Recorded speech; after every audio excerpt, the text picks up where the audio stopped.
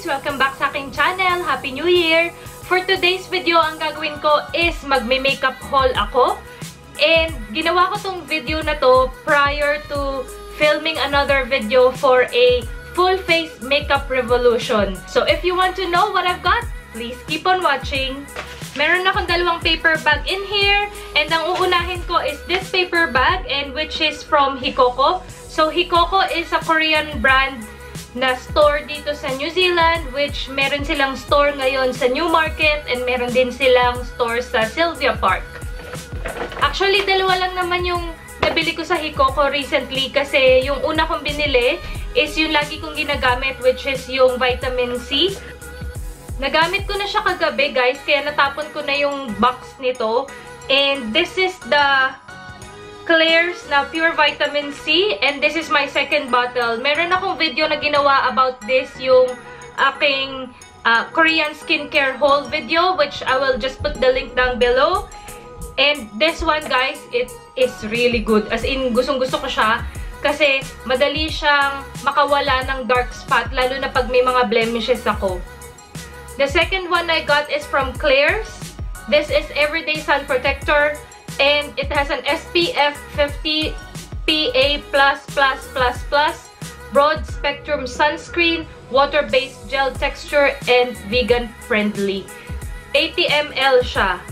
And sabi nga ng girl dun sa Hikoko is this is very popular. And in the morning, mas maganda daw siyang gamitin with the vitamin C and with this um, sun sunscreen as well.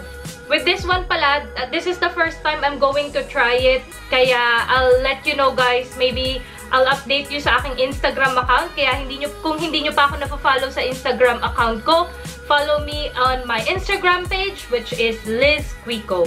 And this one naman, as I've told you with my Milani na product review, nagkakaroon ako ng hormonal acne bago ako magkaroon ng period. Kaya bumili ako nitong uh, parang sample size lang siya, which is about $6.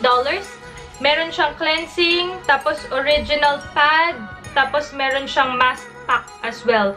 I'm going to try this closer to the time na nagkakaroon talaga ako ng mga breakout and I'll if this one works. Sabi nga nung girl sa Hikoko is, wag ko daw pagsasabayan ito at yung vitamin C kasi lalo ako magbe-breakout. So, we'll see if this one works. And, binigyan din nila ako ng sample, which normally naman pag sa Hikoko nagbibigay sila ng sample, I got a vitamin 3 water gel. And this one here na Innisfree Green Barley Peeling Mask.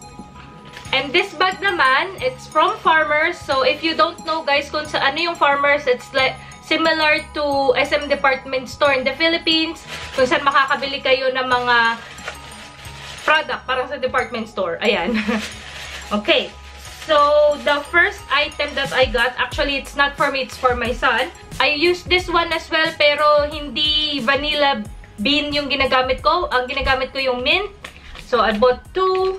I got the Pro HD Smoky Eyeliner Waterproof Bulletproof. Here you go. And guys, lahat ng price, I'll just put the link down below as well, okay? Because I don't remember. This is the Renaissance Flake Intense Long Wear Black Felt Eyeliner. Here you go, guys. Lahat yan gagamitin ko sa aking first impression review. And this one naman is a Revolution Makeup Revolution London. Here you go. And this is in the shade, ano ba? Anong wala nakalagay? Reloaded nakalagay? I think this is Reloaded.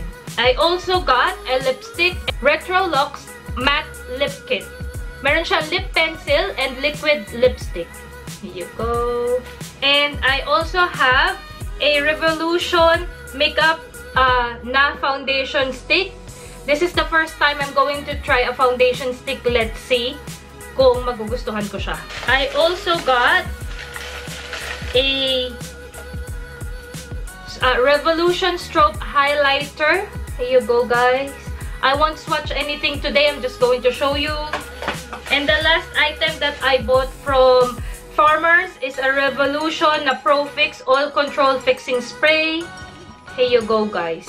So, kung hindi nyo pa alam kung ano yung Makeup Revolution, Makeup Revolution is a brand na UK-based siya, which is recently na nagkaroon siya dito available sa Farmers. Although alam ko, binibenta siya before sa Beauty Bliss, which is merong online and meron ding shop sa Newmarket and all over New Zealand. I don't know where.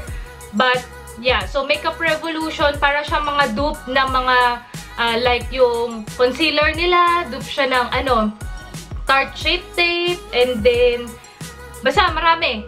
Kaya, itatry ko siya and the reason why I wanna try it because this is a really affordable makeup. That's about it guys and I hope nag-enjoy kayo sa video na ganito ng mga makeup haul. And if you do guys, um, comment down below lang kayo.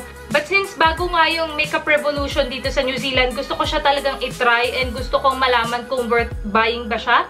I'll let you know my thoughts in another video which I'm going to do a full face makeup on that one. Anyway guys, if you like this video, don't forget to like, comment, and subscribe to my channel. I'll see you on my next one. Bye!